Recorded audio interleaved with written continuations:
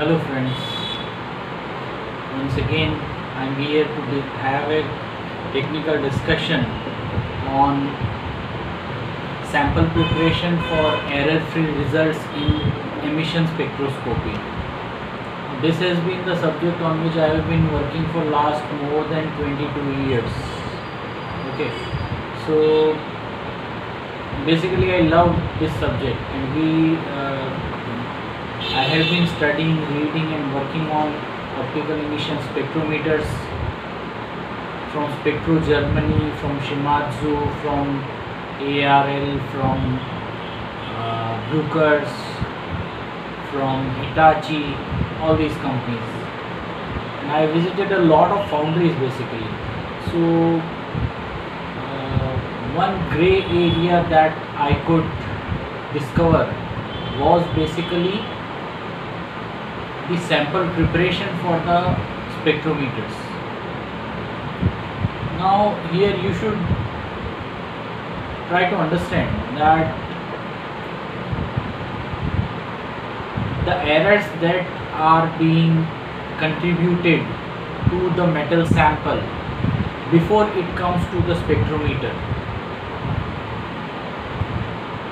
Can the spectrometer rectify those errors? No they cannot so it becomes very much essential to understand that what care has to be taken for the error free results in the spectrometer sample right? Now in fact it is uh, it's a very common gesture and you all must already be knowing that uh, what an spectrometer is what is the function of a spectrometer. So basically the spectrometer is a machine right that is used to determine the chemical composition of different element content in different percentage or proportion in your metal sample specimen right now here anything done erroneous either during taking the samples from the furnace or its chilling or its polishing and sample preparation. Now those error nobody can rectify. No spectrometer in the world can rectify those errors again the increasing speed complexity of networking use of statistics work certificates have pushed the sample taking and sample preparation into the background. People are not paying attention on it. They just feel we have got a polisher we have to polish the sample and take it on spectro and the spectro has to give us the correct result. So this automatic sample transport of the spectrometers and those things also can be achieved further. But this is where a good deal of manual and in some case monotonous work is still to be done. And because of the monotonous sample taking process the heat the uh, induction furnace it's all a continuous process so people don't pay attention on how the sample has been taken and they don't observe physically. Even if they observe they would say it's okay we'll take care of it chal jayega. It will do. Let us take the sample on spectro and uh, get the readings done. So let us uh, start a good discussion. Let us try to understand some very important thing. Before i move to the different sample preparation errors different things that contribute errors. Let me first start up with you already know what a sample is right? But i want to tell you about what different types of samples are there.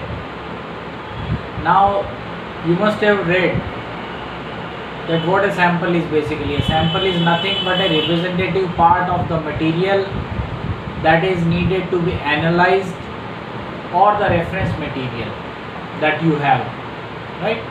So that is what a sample is. So that is number one. Definition number one is what is a sample. Second is what is an analysis sample. So an analysis sample may be the actual product to be analyzed or the part of that product right? So this is what is a analysis sample is actually. Third is the reference sample. What is a reference sample so the reference sample has the known and highly accurate composition at time it is synthesized from high purity material or selected from homogeneous material and then it is certified. So reference sample can be used as control sample with all spectrometer irrespective of its make.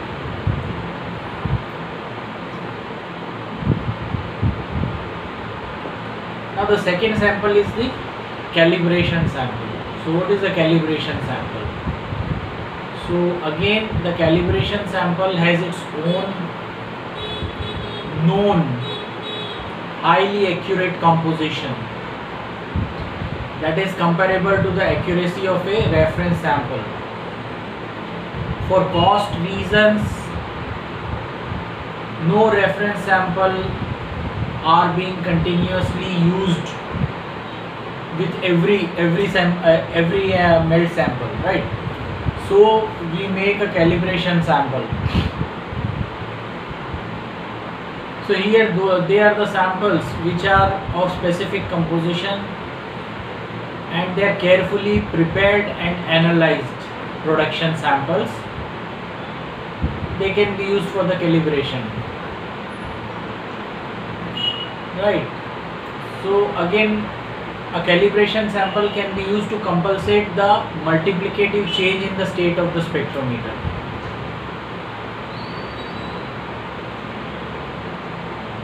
And has elemental concentration that is near to the upper concentration range of calibration. The low recalibration sample is to compensate additive changes in the state of a spectrometer. Often blank sample or the pure base metal is used for this purpose. That is I am talking about low recalibration samples, right? Now there is one more type of sample that we call check sample. What is a check sample basically? So a check sample has a composition that is similar to the sample under analysis, right? But this check sample has got a very good accuracy and a homogeneously prepared sample it is. And is used to ascertain the instrument drift at certain time intervals.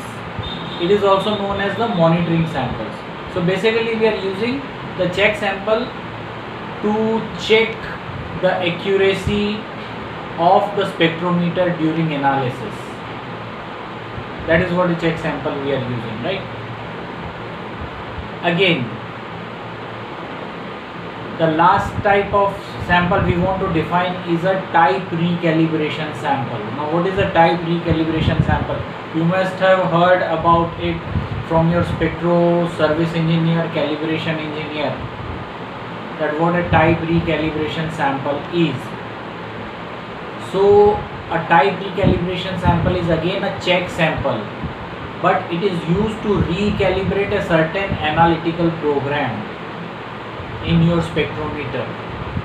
So that is what a type recalibration sample is right? Now as far as it uh, as far as its preparation is concerned so analysis and preparation are important part of the analytical procedure. A correct description and adherence to the foregoing are essential precondition for obtaining precise and correct analysis. So this is what the different names of the samples that you must often your ears must be hearing and you must be coming across these names while working with a optical emission spectrometer right which we simply call a spectrometer. The metal industry people steel plant lab people casting forging foundries all these people use this spectrometer. And technically we differentiate it with the name of optical emission spectrometers. Okay so now coming back to our uh, sample preparation how the error is contributed. So the errors that come with the sample before the sample comes to the spectrometer for analysis. I am talking about those errors. Now what are those errors? So basically in case of a solid metallic sample generally we have noticed a few problem repeatedly. First one is i'm talking about the problem. The first one is the molten metal is not adequately deoxidized before taking the sample. Again repeating the molten metal from the ladle of the induction furnace or any other type of furnace if it is not adequately deoxidized before taking the sample spectro sample that has to be tested. So this is going to contribute errors in the elemental compositions of your heat sample. So you must take care that the molten metal sample before it is taken the whole melt has to be deoxidized right?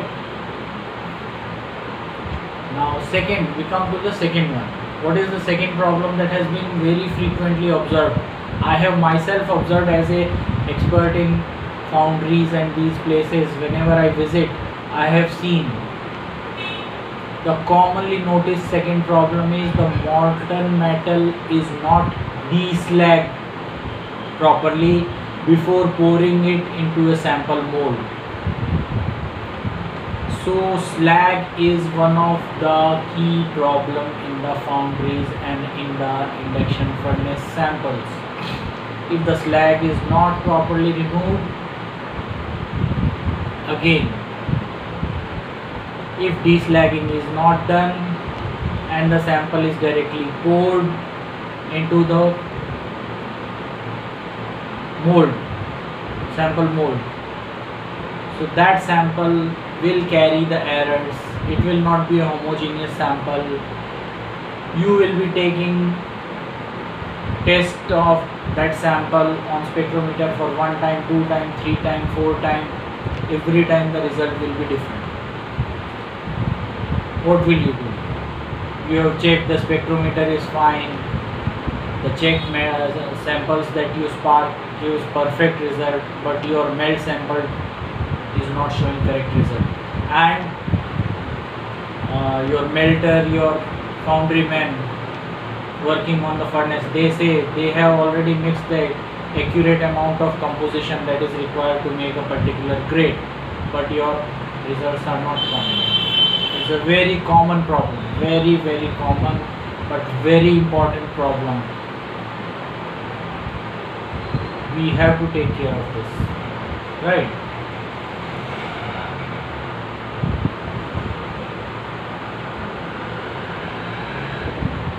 third common problem that has been observed is the sample is casted into a oxidized mold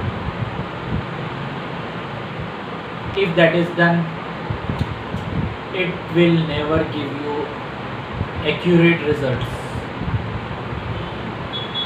So we must take care of these these problems because these are the errors that contribute error in the spectro test sample. And this creates a lot help of problem with the engineers the suppliers of the spectrometer also. Customer keeps on complaining your spectrometer doesn't work properly. It is not giving accurate results. But the reasons are these. They are not in the spectrometer. They are well within your company from where the sample has been taken. So this process has to be very perfectly watched. Right? So these were basically uh, the errors that are contributed in a foundry for a solid metal block. Now since we are discussing OES, optical emission spectrometers and the errors in that so here I must discuss the errors that comes in the sample on a ICP spectrometer. ICP spectrometer is basically a inductively coupled plasma ICP spectrometer. So this is a second different technology altogether. Those were optical emission spectrometer OES this is ICP inductively coupled plasma. Right. So what are the basically uh, the errors that are coming before the sample comes to your analysis instrument? Means all before it comes to the spectrometer. So in an ICP sample alloy dissolution is not carried out at a sufficiently high temperature. This is the first problem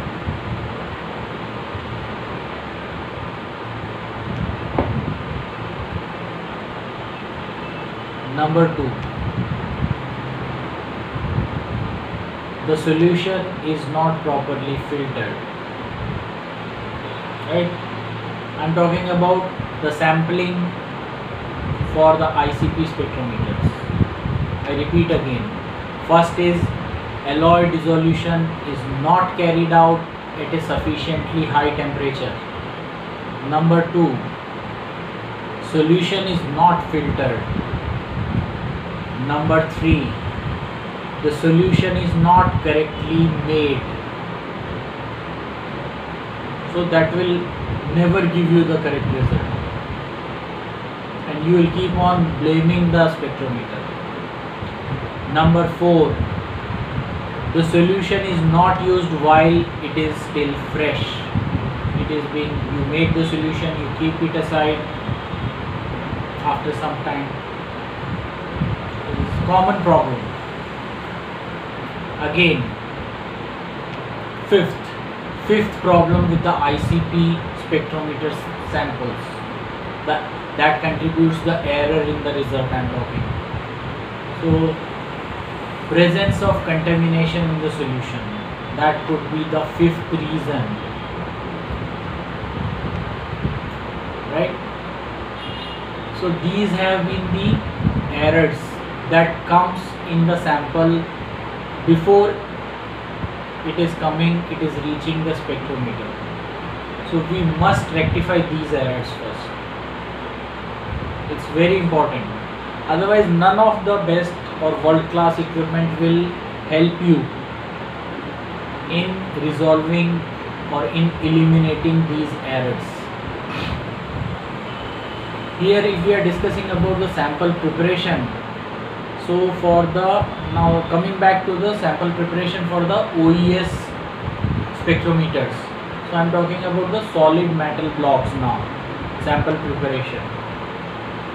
So let us discuss the sampling how the sampling should be done. What type of mold should be used? So basically here in sampling of optical emission spectrometer for a solid melt block sample you need to do chill mold handling. What I want to convey is you need to have a chill mold in which you have to pour the sample from the furnace. Molten metal has to be poured in a chill mold sample. Number 2 the sample must be representative of the melt right?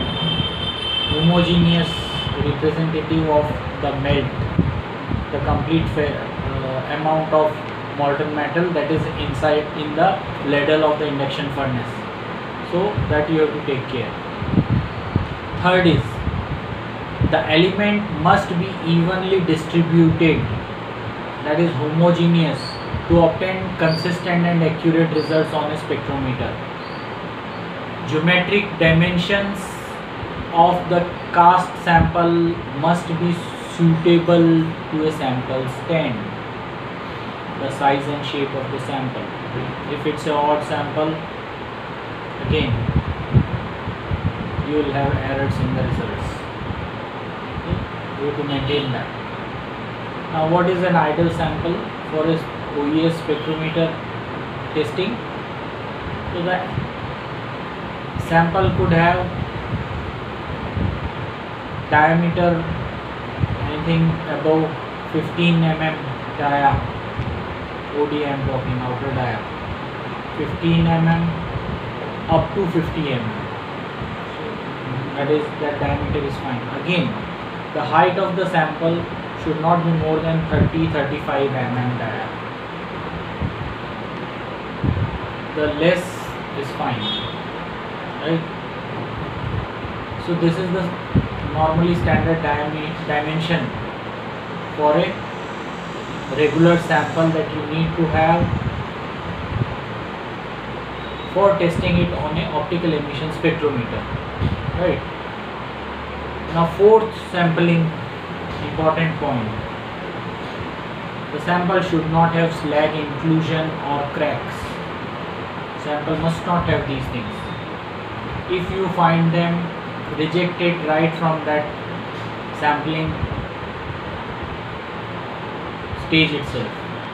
Don't bring it to the spectrometer. It will never show the correct results and it would be a headache basically. Right. Now coming to the next step. What should be or what is the timing for the sample taking from the melt? So the correct time for sampling is very important here. After the master alloy has been added it is necessary to wait till the melt becomes homogeneous.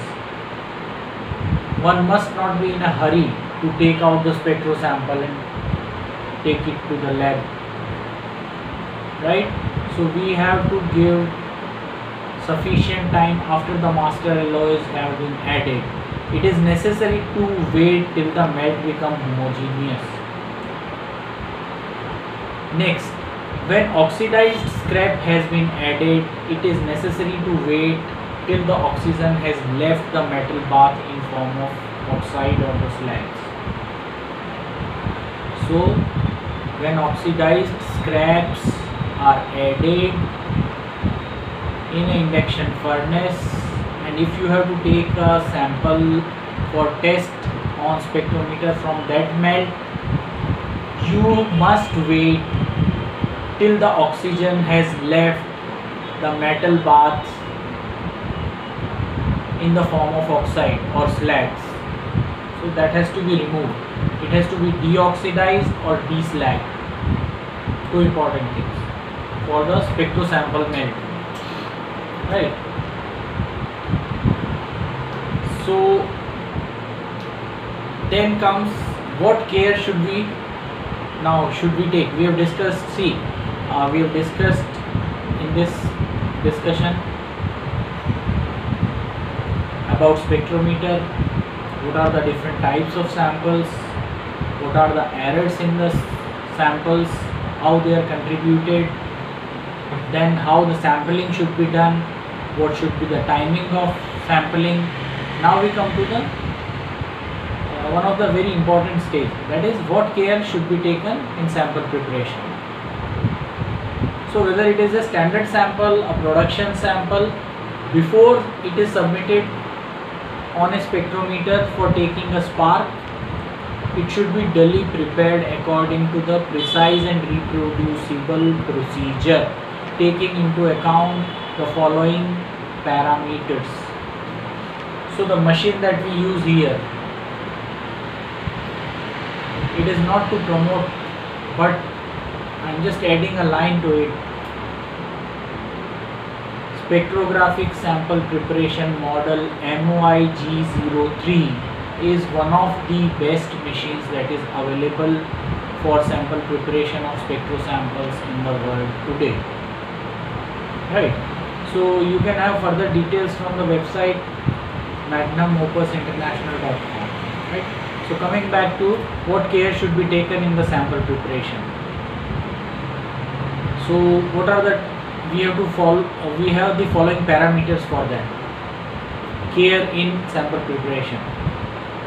Number one is the analysis sample must be easily separable from the riser I'm talking about the stage in the foundry on a furnace ladle, right?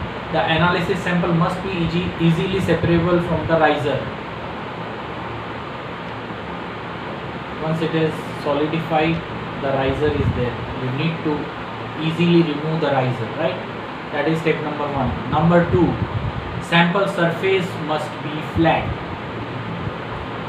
Why? because the spark is done through a 16 mm dia hole through the spark electrode right it is therefore essential that the sample irrespective of its shape outer dia it need to have a flat surface.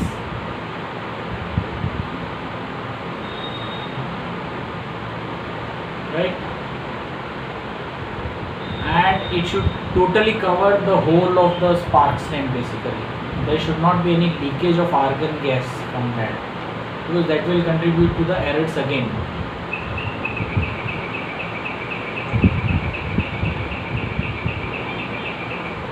A third third step or third care that we need to take is there should not be any machining residues.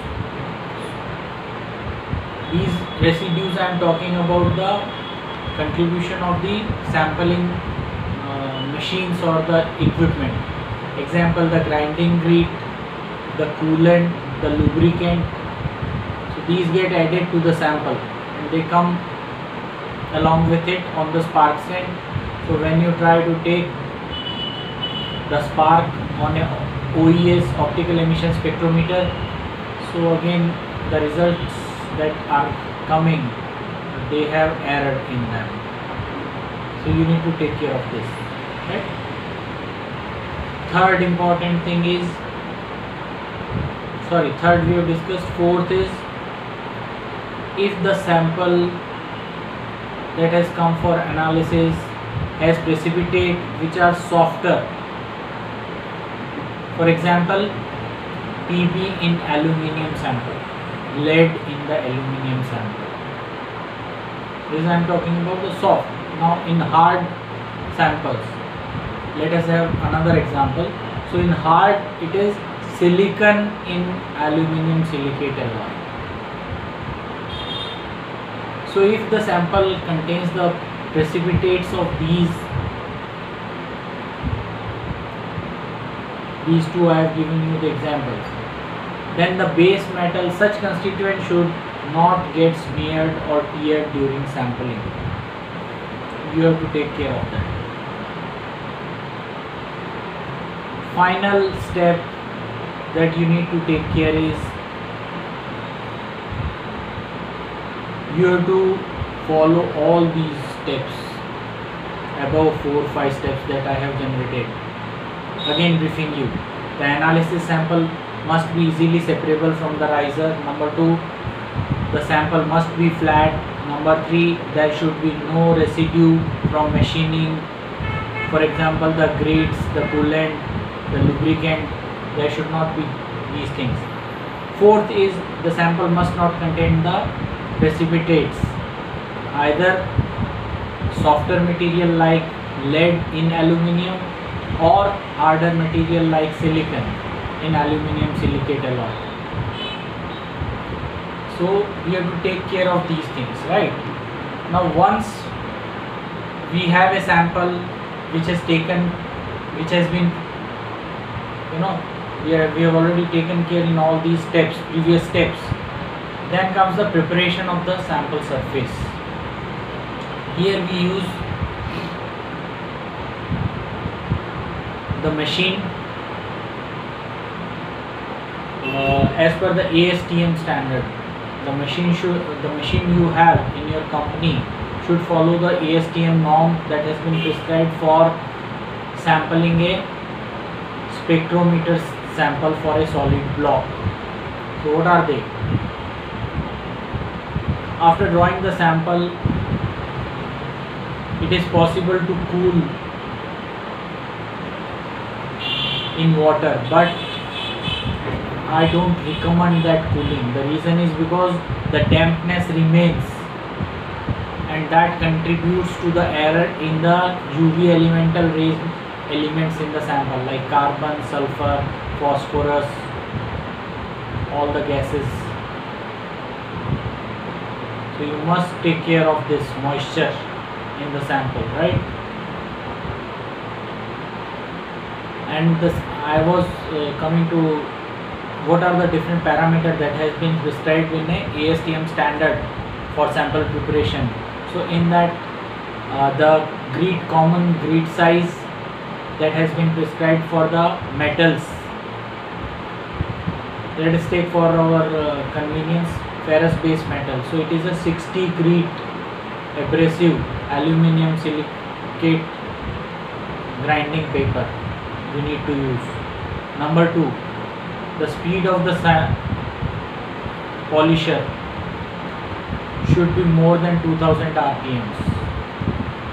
Number three, the machine should have a vacuumization whereby it is catching and blowing out the dust metallic dust that is created while you polish the sample it's very minute metallic dust that has to be removed. Because if it, it remains on the sample uh, that will cause burning of that particular sample and it will not give you exact results. So you must take care of that right? So once you have prepared the surface of the sample and you have checked all all these parameters on the sample that has been prepared then you can after preparation if the sample is hot place it over a copper plate. And the surface that has to be analyzed should not touch the copper plate directly right? Don't use liquid to cool the sample that I have already told you that cooling in water that is a common practice in the Indian foundries they do. So cooling should be avoided cooling in liquid should be avoided for spectrometer samples I'm talking optical emission spectrometer samples. You must avoid. That will contribute to the moisture in the sample. Second is don't touch the surface that has been prepared and that you want to analyze. That surface has to be protected. You must not touch it. Again visually you need to verify that cracks are not present on the sample surface that has been prepared blowholes are not present or any impurity in the sample due to oxidation you must avoid these things. If your sample is free from all these errors, then it is ready to be brought on a spectrometer for taking the spark. So again while sparking also you must avoid overlapping of the sparks. Keep slight distance, change the position of the sample, then take the spark sample has to be amply pressed or clamped so that there is no leakage of argon gases otherwise that will again contribute to the error in the results of your final sample chemistry with the round shape sample spark must be do done over concentric circle to get better results if I have a round sample so um, need to have it in a concentric circle mode only. So if we take these cares in preparing the sample on a spectrometer. Then we can be sure that the result would be near to the perfection. Right? So this has been one of the discussion on error-free results in emission spectrometer. So I'm glad that I could share what I had to share with you and I want to show you uh, 20 years back in this Foundry magazine. One of my key research article on error-free results on emission spectrometer got published. So thank you and goodbye.